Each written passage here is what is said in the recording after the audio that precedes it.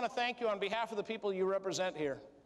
You see, you're giving a couple days of your life to help protect other people, to protect their lives. That's an incredible thing. Now you're sitting there saying, well, they're paying me to be here. Doesn't matter. You see, each and every one of us is here because we choose to. We live in a country where we have the freedom to decide where we go, what we do. You don't have to work here. You don't have to work here. You don't have to choose to be here. The fact is, you've decided to give a couple days of your life on behalf of the safety of other people, and that is significant. That tells me a lot about the type of people you are. Because you see, you don't know how many days you have left here. You and I do not know how many days we have left in our life. And you're dedicating at least a few of them to the protection and safety of other people. You can't get those days back.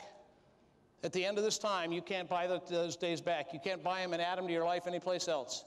You've given them to other people, and that says tremendous things about each and every person in here.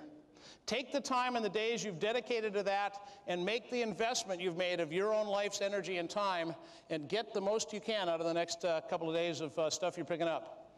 Take it in, take it home with you, put it to use, and make it a safer workplace out there. Thank you very much. Have a safe year.